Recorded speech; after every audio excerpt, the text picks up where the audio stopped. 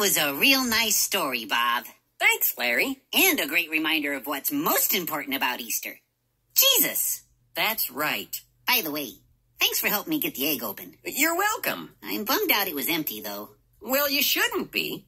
Why not? Because this is an egg that reminds us that Jesus' tomb was empty on that first Easter morning.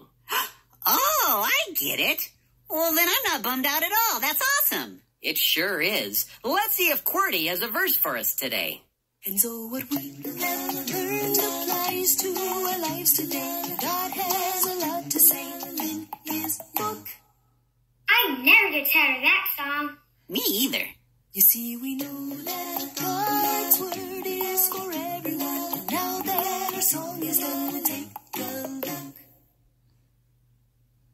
Uh, QWERTY? Oh, remember, Bob? QWERTY's got Sundays off.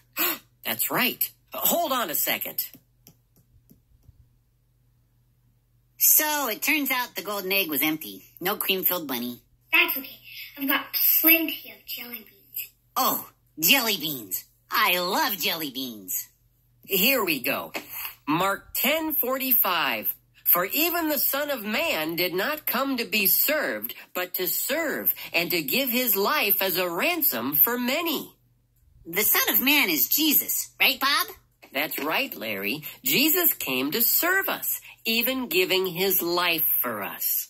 And rising again on Easter. So, Timmy, does this help to remind you what's really important about Easter? Yes, remembering what Jesus did for us and trying to be like him. You got it, buddy. But we're still cool with the chocolate bunnies, eggs, and jelly bean thing, though, right? Absolutely. Oh, good. Well, that's all the time we have for today, kids. Remember, God made you special. And he loves you very much. Bye!